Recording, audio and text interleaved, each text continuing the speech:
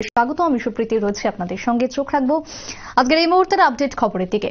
ঘূর্ণিঝড় যাওয়াদের ফলে সৃষ্টি হয়েছে নিম্নচাপ এবং এই নিম্নচাপের ফলে আজকে সকাল থেকে টানা বৃষ্টি আর এই বৃষ্টিতে কৃষকদের ক্ষতি হয়েছে। চূড়ান্তভাবে কৃষকদের মাথায় হাত কপালে চিন্তার ভাঁজ লক্ষ্য করা যাচ্ছে কৃষকদের।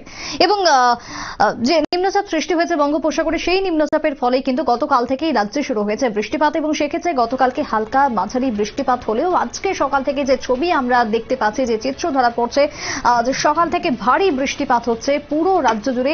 এবং এই বৃষ্টির ফলে কৃষকদের ফসল নষ্ট হয়ে যাচ্ছে মাঠে। জমিতেই নষ্ট হয়ে যাচ্ছে কৃষকদের ফসল এবং যার জন্য কপালে ভাঁজ পড়েছে কৃষকদের। এবং খুব স্বাভাবিকভাবে এখন যে সময়টা অঘ্রাণ মাস নতুন ধান কাটার সময়, আমন ধানের সিজন ঘরে তোলার সময় এবং জমিতে অনেকে ধান কেটেও রেখে দিয়েছেন কৃষকরা। বাড়িতে তোলার শুধুমাত্র অপেক্ষা, কিন্তু তার মাঝখানে অকালে বৃষ্টি আর এই বৃষ্টির ফলে রীতিমতভাবে নাজেহাল অবস্থা কৃষকদের এবং চিন্তার ভাঁজ হচ্ছে তাদের করুণ কাহিনী উঠে এসেছে। যে ছবি আপনাদের দেখাচ্ছি, গোলাঘাটি বিধানসভা কেন্দ্রের অধীন কাঞ্চনমালা এলাকা। যে কাঞ্চনমালা এলাকাতে কৃষকদের পুরো জমির পর জমি, বিঘার পর বিঘা নষ্ট হয়ে যাচ্ছে ধান।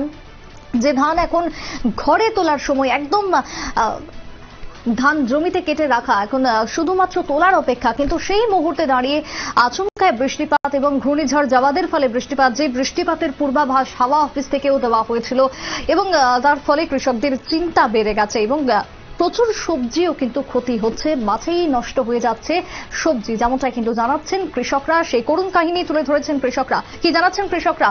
শুনব একবার। কালকে থেকে যে মানে বৃষ্টি যে শুরু হয়েছে নিম্নচাপের কারণে এতে আপনারা কি মনে হয় কৃষকরা কি মানে লাভ হয়েছে নাকি লোকসান হয়েছে? আর এই কালকে থেকে যে বৃষ্টি আরম্ভ হয়েছে যেমন আমার জমির মধ্যে ধান একটা ফালাই রাখছি হ্যাঁ। সব ধান নষ্ট হয়ে গেছে। বাড়ির মধ্যে যে ধানগুলি আছে এটিও নষ্ট হয়ে দেখেন না গরুর বন্টন সব নষ্ট হয়ে গেছে। বাড়ির উঠানোর মধ্যে ধান নষ্ট গেছে কৃষকরা মারাত্মক ক্ষতি হয়েছে এটা বলার বাইরে। যে এই ধরনের বৃষ্টি তো আমরা কোনোদিন আশা করতাম পারিনি এই সময়টা এই আমার জমির মধ্যে ধান কাটটা ফেলা রাখছি সব দিয়ে পুরাটি নষ্ট হয়ে যাব।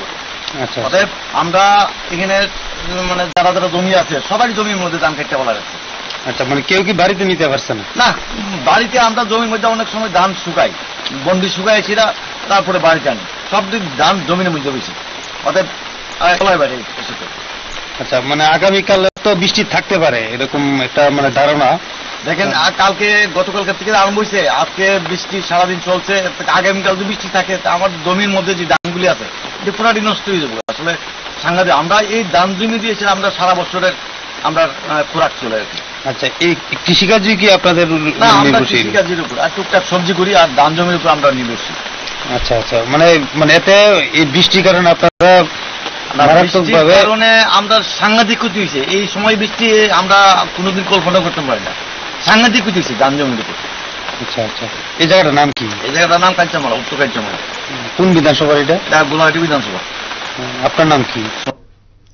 গোলাঘাটি বিধানসভা কেন্দ্রের কাঞ্চনমালা এলাকার কৃষক সন্তোষ সরকারের বক্তব্য আপনাদের সামনে তুলে ধরলাম। করুণ কাহিনী, সেটাই শুনলেন, যেখানে একদম অনেকের জমিতে ধান কেটে এখন শুকাতে শুকাতে দেওয়া ছিল, আবার অনেকে এখনও ধান কাটতে অব্দি পারেননি। কিন্তু সেই সময় আচমকায় বৃষ্টিপাত এবং যাওয়াতের ফলে এই বৃষ্টির ফলে ক্ষতিগ্রস্ত হচ্ছেন কৃষকরা এবং নিম্নচাপের সৃষ্টি হয়েছে। যে নিম্নচাপ কিন্তু শুধুমাত্র ত্রিপুরা রাজ্য নয়, এর পাশাপাশি আমাদের পার্শ্ববর্তী রাজ্য, উড়িষ্যা, পশ্চিমবঙ্গ, উপকূলবর্তী অঞ্চলগুলিতেও কিন্তু বৃষ্টিপাত হচ্ছে এবং প্রভাব পড়ছে ঘূর্ণিঝড় যাওয়াদের এবং সমগ্র জায়গাতেই কিন্তু কৃষকদের এখন একই হাল।